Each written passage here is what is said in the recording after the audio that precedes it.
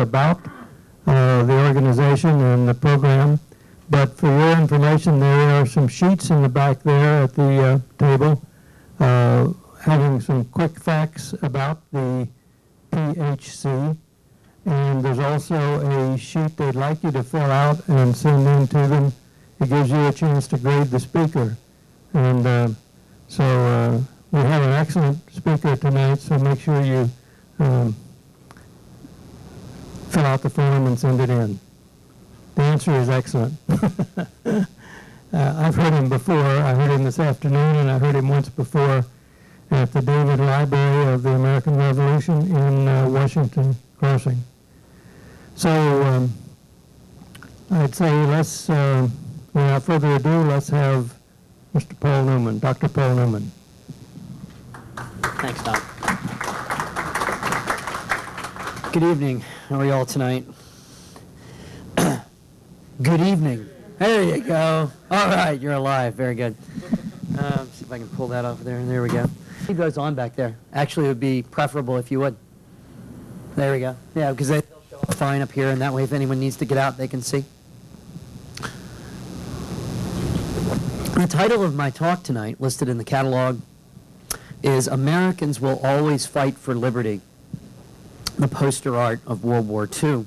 And so I start with this image that, uh, which I draw my title, Americans Will Always Fight for Liberty. And there are many reasons uh, that I use this image for my, my very first. Um, first of which is that this is a, well, there goes my cough drop. This is a prime example of the kinds of poster work and propaganda that I'll be showing to you this evening. And I do use the term propaganda, which uh, if we're going to develop a working definition for it, excuse my cough drop, but uh, without it I don't think I'll be able to finish. Um, if we're going to make a using uh, working definition of propaganda, it would be the manipulation or the government manipulation of information to mobilize bias, um, to produce a prejudice bias on a part of your subjects. And of course, that's what the Office for War Information was attempting to do throughout the entire World War. They had taken the mantle in fighting the propaganda war from an earlier machine, from the First World War, called the Office of Public Information. Um, and so, the Second and the First World War were both events in which our government realized that the front lines were not just on lines of battle, uh, but were in the, the battle over ideas and how to frame our participation in the war, but more importantly, in this case, what we're going to see tonight, how to set each individual American citizen in their lives within the context of this great event, and to have each individual American citizen directly identify with the success and or the failure of the context of this great event, the Second World War.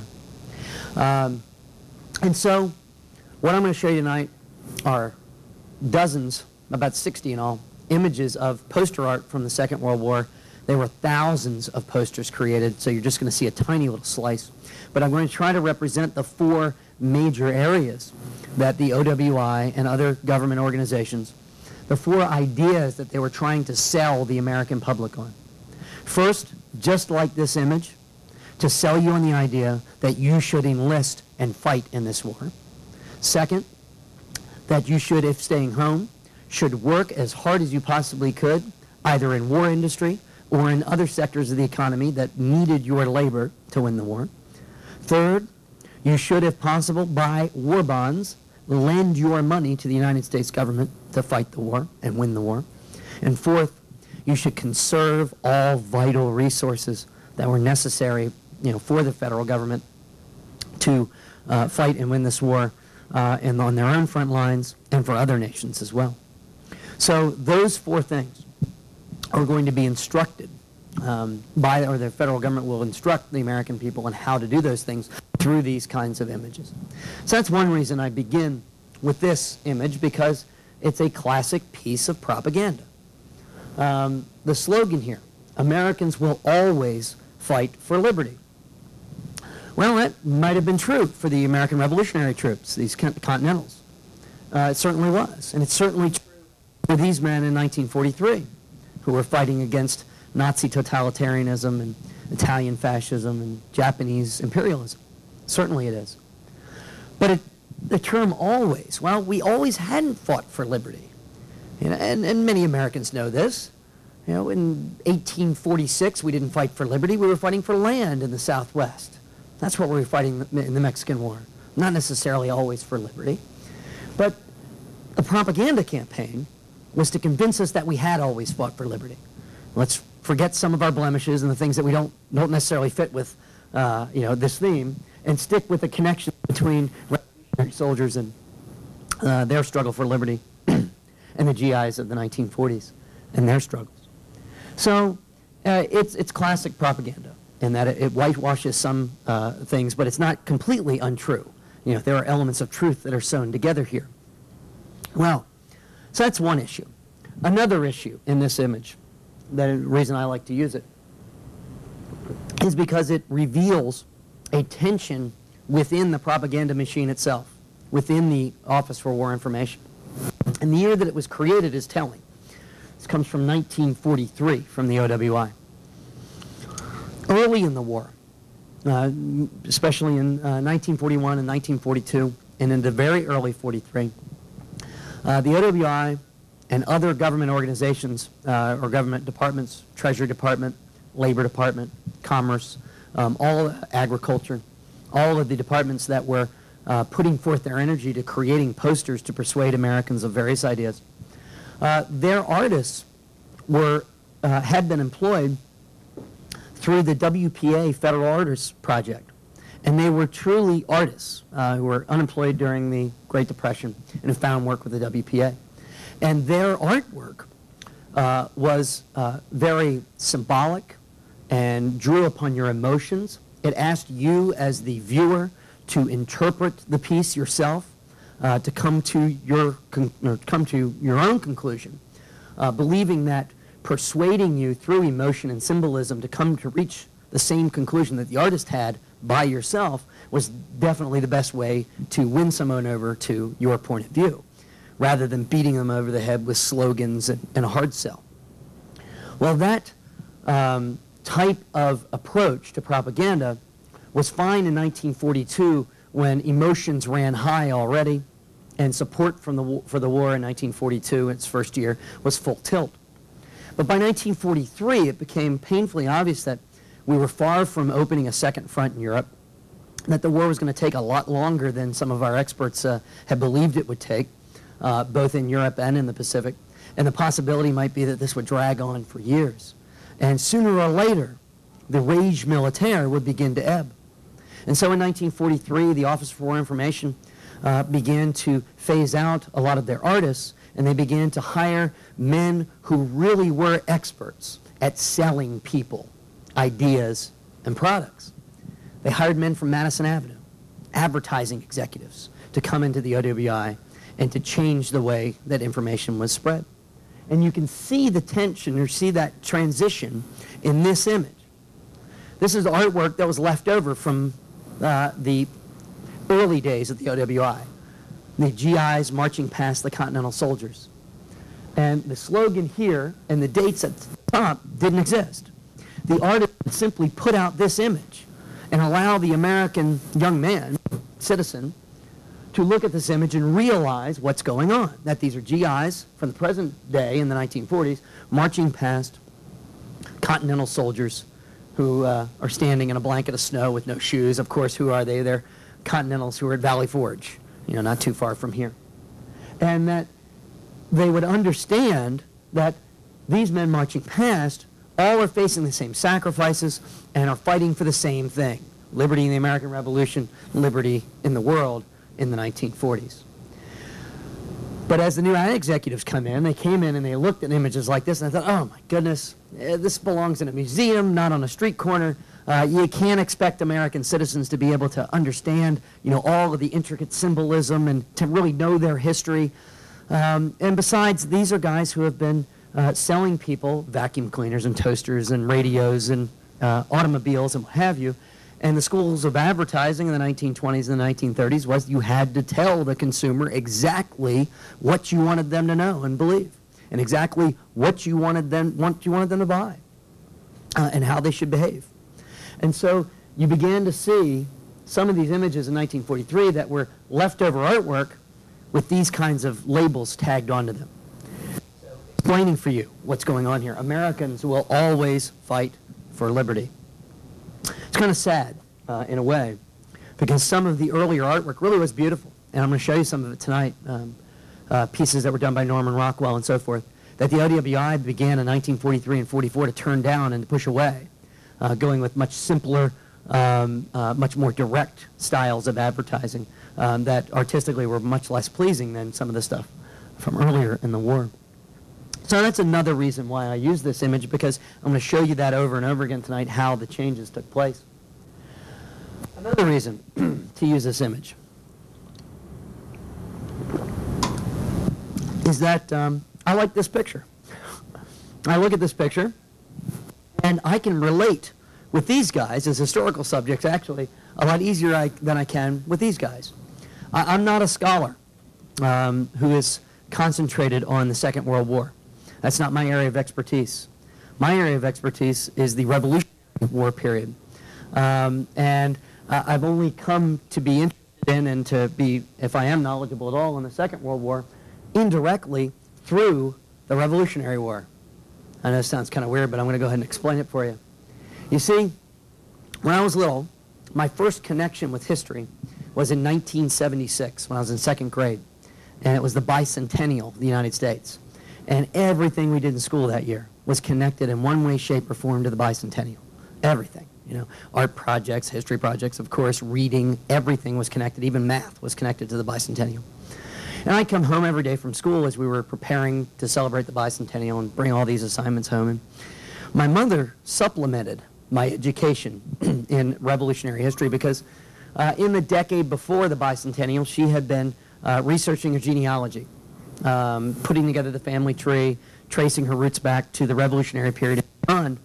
And whenever I came home talking about what we'd studied that day about the bicentennial, she would relate to me that, oh, yes, right, you, you learned about George Washington, that's fine, but uh, your great, great, great, great, great grandfather was Samuel Wade Magruder, a general in the Maryland militia during the Revolutionary War.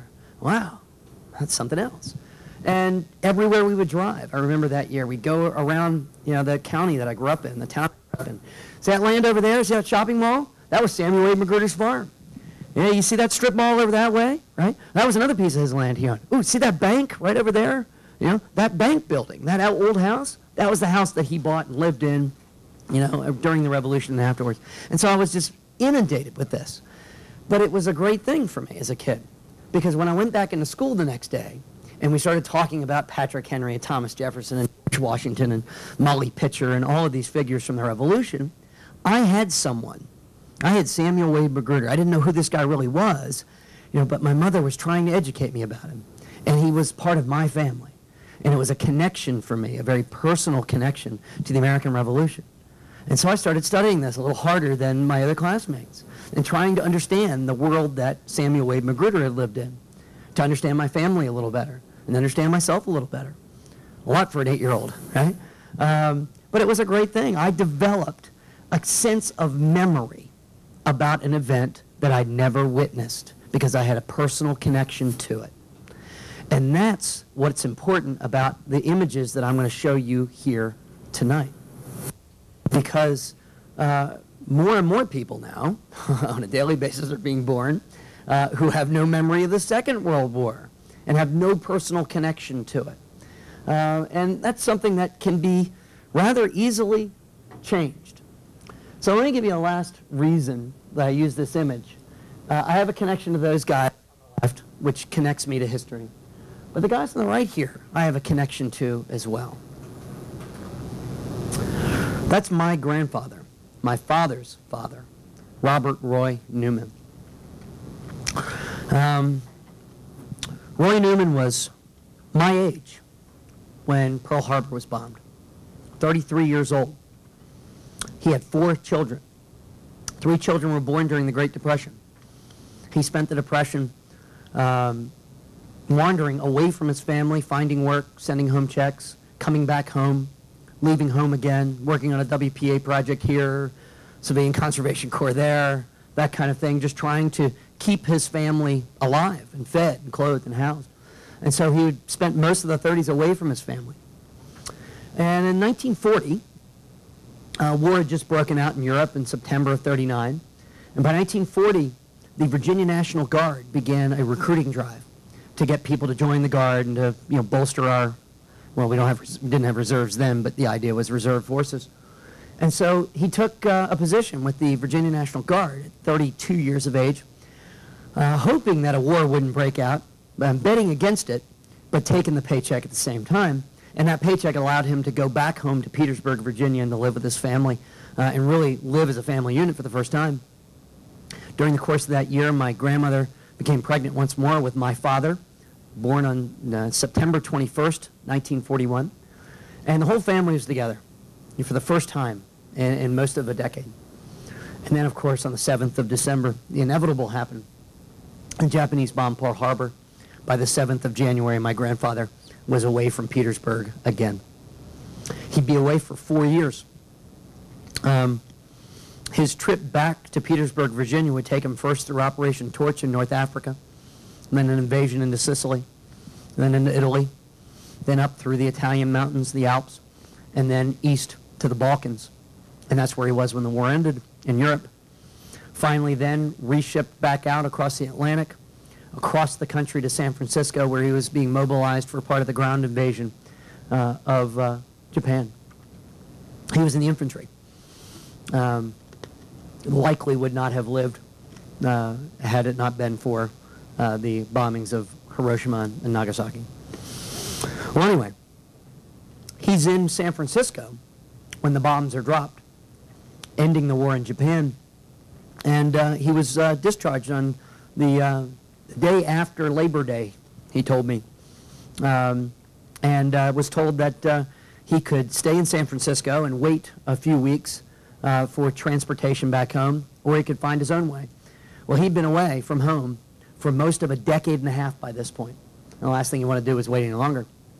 So he had his uniform cleaned and pressed, uh, threw everything in his bag, and stuck out his thumb and hitchhiked his way from San Francisco to Petersburg, Virginia. Took him a couple of weeks. Um, didn't have to stop very much. Uh, whenever he had his uniform on, got a ride right away. It took some time. It's in the age before superhighways. And he made it home on the 21st of September, 1945. And he walked into the door of his home, uh, into the middle of his four-year-old son's, my father's, fourth birthday party. There were uh, dozens of cousins, brothers and sisters, everyone there, and here comes my grandfather walking in. Uh, hadn't had a shave for a few days. He was about 25 pounds leaner than when he left a few years before, uh, and, and very much a, a much different looking man in four years than my father's older brother and sisters remembered. Daddy, daddy. Uh, my grandmother, of course, flocked to him as well. But my father sat at the table behind his birthday cake with his hat on, terrified.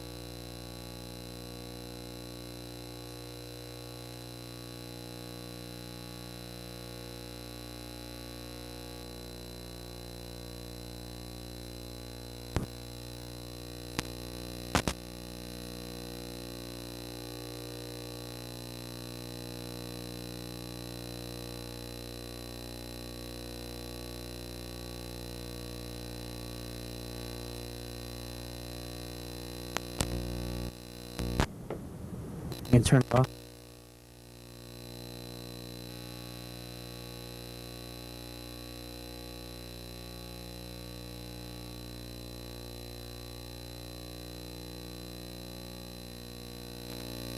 Sorry, Don. Of productivity was something I, that, that American, the American people weren't, you know, didn't necessarily understand it uh, in 1941. Uh, but they would come to understand it through the Office of War Information, through a barrage uh, of, of posters and other types of information management. The war was one that was going to be one that would have to be fought on the Atlantic and the Pacific and every other ocean on the planet, on every continent, on various fronts all at once. And it was one that our soldiers were going to have to fight on all of these places. And if that wasn't enough, it was also a war that we had to produce materials for all of our other allies to fight on even other fronts in other locations, like the British, the French, and probably most importantly, the Russians. All kinds of materials guns, ammunition, tanks, airplanes, clothing, boots, shoes, food, wheat, all of these things would be absolutely necessary to support and supply our allies at the same time that we're supplying ourselves. And the production that would be necessary to do this would be unprecedented in human history by many, many, many fold. And so the U.S. government understood this in 1941, and they realized that the only way to win the war was to convince the American people of the exact same thing. That only full 100% productivity would enable us to win this war.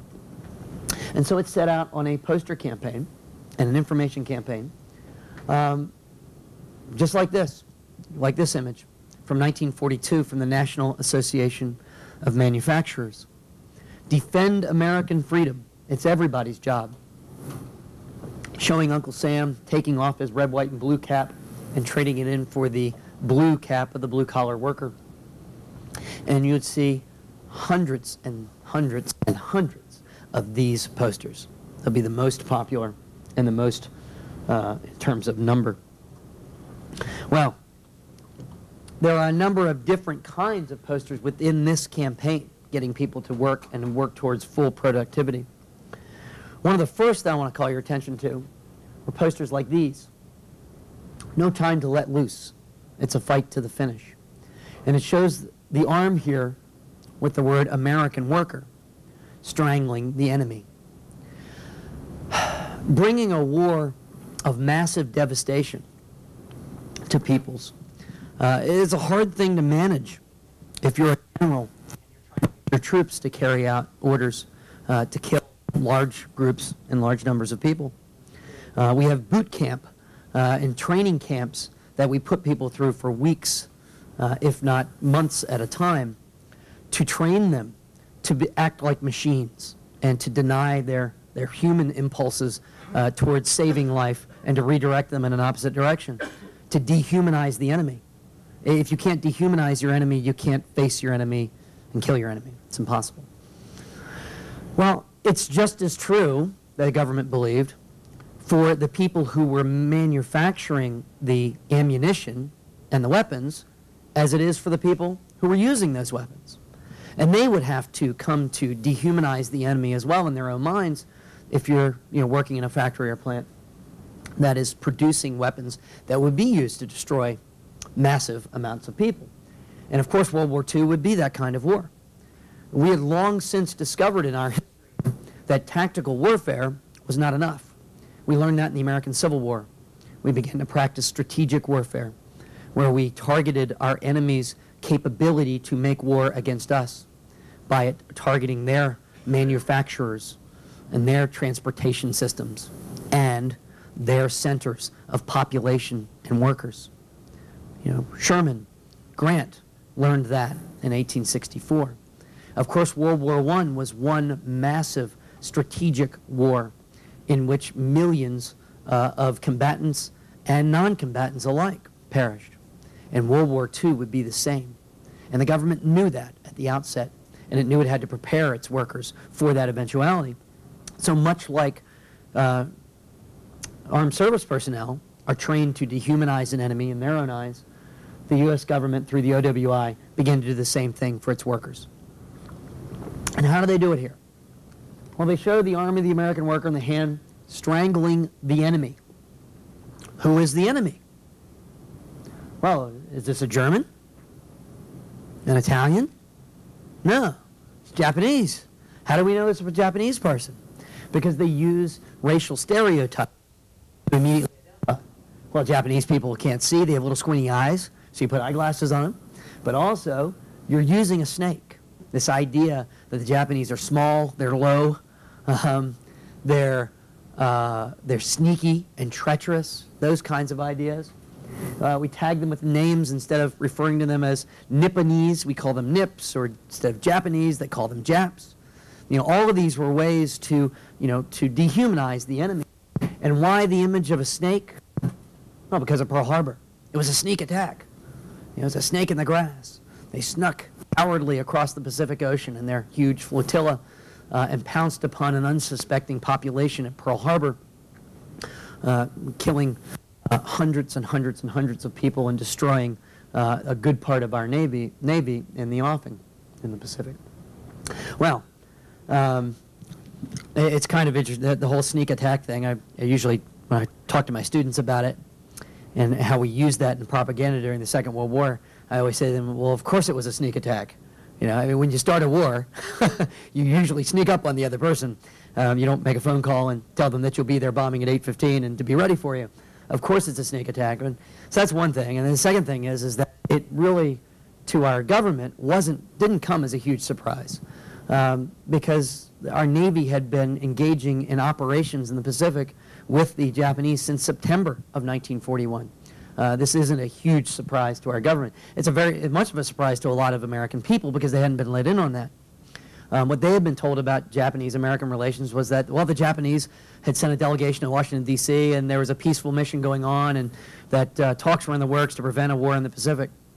Um, but this was the management of information. You didn't need to know that our naval personnel were already engaging the Japanese in the Pacific and had been doing so for four months. And so when the uh, when Pearl Harbor was bombed on December 7th, for a lot of Americans, this was news to them, and it had a tremendous effect, bringing people immediately uh, from a position where just a few months before uh, there was still a sizable minority, uh, or actually a majority of Americans who opposed entering either a Pacific or a European war. Um, the next morning, just about everyone was ready to go.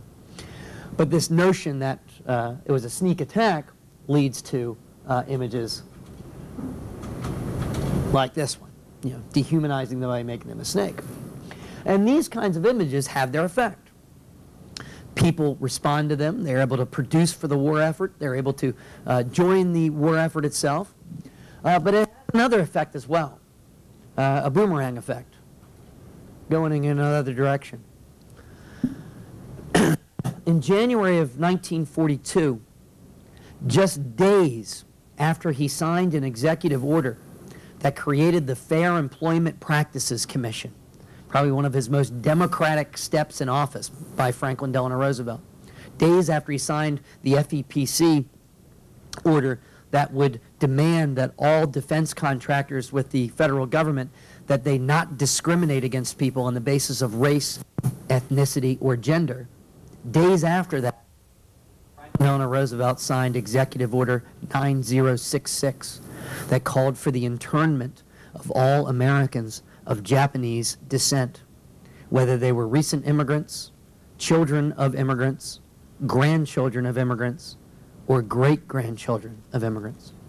And within months, more than 100,000 Japanese Americans, some of whom whose great grandparents had immigrated to this country in 1849 during the California Gold Rush, almost 100 years before, were relieved of their own property, had their bank accounts liquid- liquidated, and were concentrated into what were first called reconcentration camps, but when that word became uh, a little too tied to things that were going on in Germany, renamed internment camps.